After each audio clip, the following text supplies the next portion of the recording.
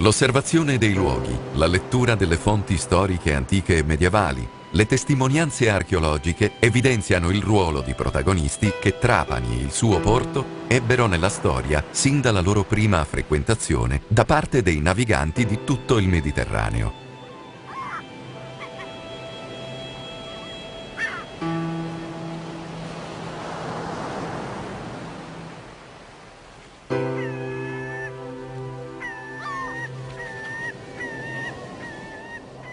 Meta obbligata per chi da Roma viaggiava verso Cartagine e viceversa, o per chi attraversava il Mediterraneo da est ad ovest, la città ebbe sempre un ruolo di primo piano che permase per tutti i secoli successivi all'antichità.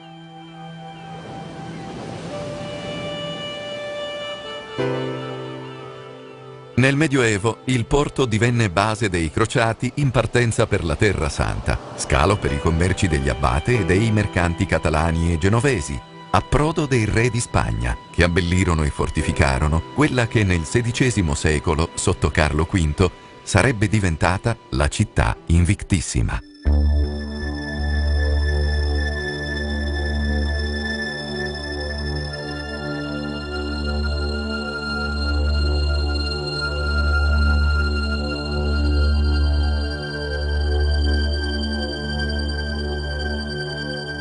La presenza aragonese in Sicilia, iniziata nel 1282 con l'arrivo a Trapani di Pietro III, copre un arco di 130 anni, durante i quali l'isola fu funestata da una guerra che si trascinò per quasi un secolo.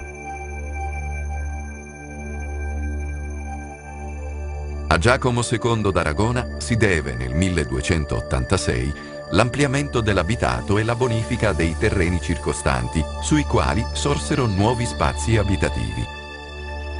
Venne tracciata al centro del nuovo quartiere, detto poi Palazzo, la Rua Grande, l'odierno Corso Vittorio Emanuele.